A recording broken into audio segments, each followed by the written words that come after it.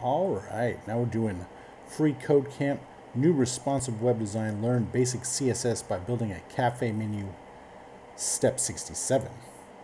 So did, pardon me, the default property of an HR element will make it appear as a thin light gray line. We can change the height of the line by specifying a value for the height property.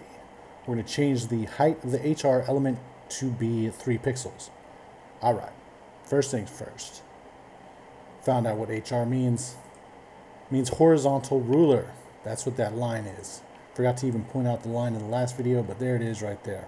So now we're going to make this 3 pixels big by... What to do? What are we going to do? Change the height of the line by specifying a value for the height property. Going to change the height of the HR element to be 3 pixels. All right, let's just go like this. HR, uh, and then let's say height, uh, 3px. Did it do something? Looks thinner. Check it. Looks good and submit it. All right, and now we're on to step 68 and we'll see you next time.